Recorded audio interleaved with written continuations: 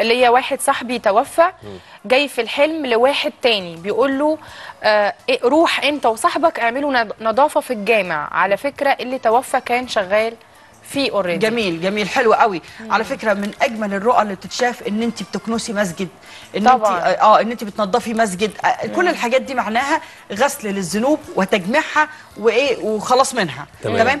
معنى إن بيقول له روح اعمل كده في المسجد مش معنى كده إن أنت تروح تكنس المسجد يعني مش ده المقصد من الرؤية بس هو طبعا بيبقى شرف للبني آدم.